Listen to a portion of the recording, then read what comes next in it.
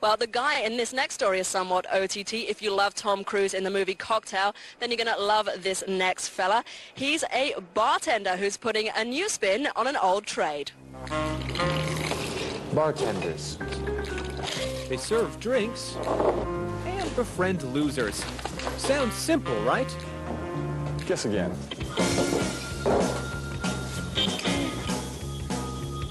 For Scott Young, bartending is an art.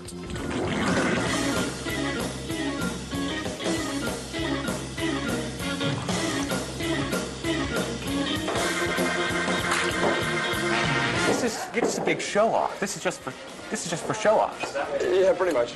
And this show off is taking bartending to extremes. Yeah, stand back, darling. Everybody back. Extreme bartending is performance bartending, having a little bit of fun, serving with style.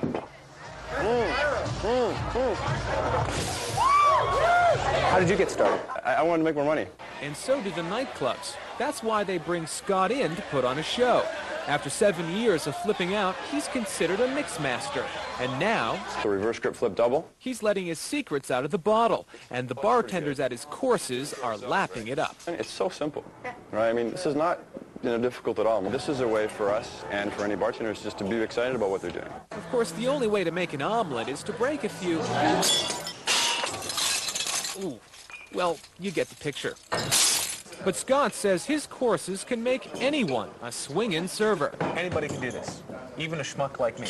Yes, even a schmuck like you. And so Scott will attempt the impossible, turning me from extreme bonehead into extreme bartender. What does it take to do this well? Um, I, confidence is a big thing. Um, being relaxed, not really worrying about uh, what people think of you.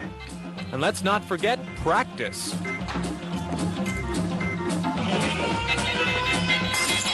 It took a little time, but I think I got the hang of it. It's just about, you know, practice and feel and fun. And those little things can make a big difference. People just enjoy the fact that you're doing something extra for them. Of course, some patrons enjoy it a little more than others. Oh my. Yes, Scott loves his job, and soon we'll be able to as well. Scott's putting out a book of tips so that all of us can flip bottles and impress our friends. Or maybe not. Cleaning up at the Roxy, I'm Chris Nelson, Vancouver Television.